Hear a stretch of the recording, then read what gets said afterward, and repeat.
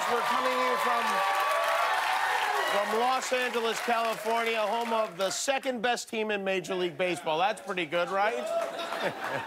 Dodger fans are especially blue today. According to uh, the fake news media, the Red Sox beat the Dodgers last night to win the World Series. But we know the real story is that the Dodgers swept the World Series in four games, and the lamestream media won't report that. We have a lot of Boston fans here at the show. Dickie is one of them, most of whom were at the game last night, some of whom snuck into the game last night. And there were, there were a lot of Red Sox fans at Dodger Stadium last night, including a couple whose names you may know. There's Leslie Mann, husband Judd Apatow. Tony Robbins from Ben Affleck to Matt Damon to Jimmy Kimmel. There's nothing worse than paying a lot of money for tickets and having to sit next to an obnoxious jerk the whole game. and that is the last time I ever use Groupon again. He's so...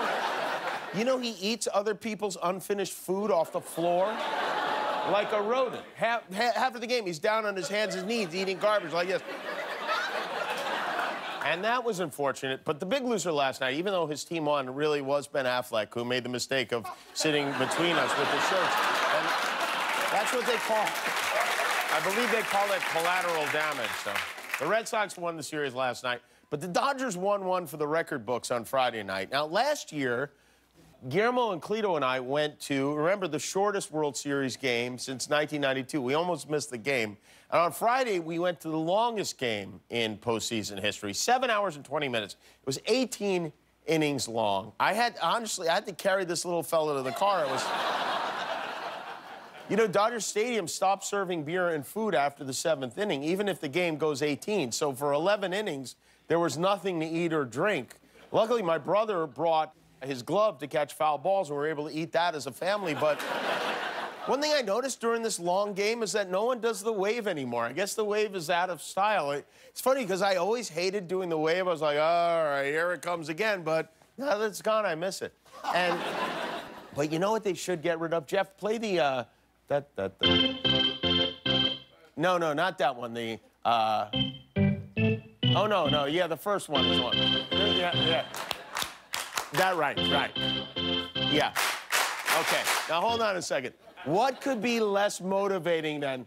I mean, like they put a flamenco dancer in charge of the crowd.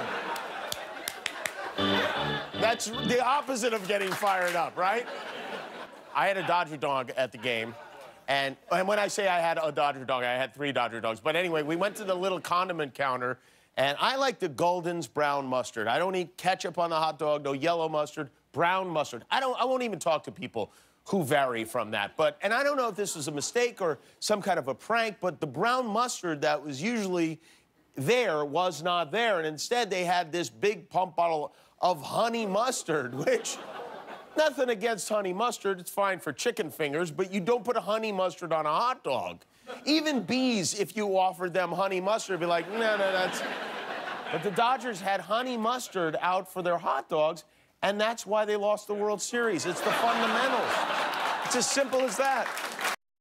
Hi, I'm Jimmy Kimmel. If you want to see all our latest videos, click the subscribe button, and if you don't, click anyway and close your eyes when they come on.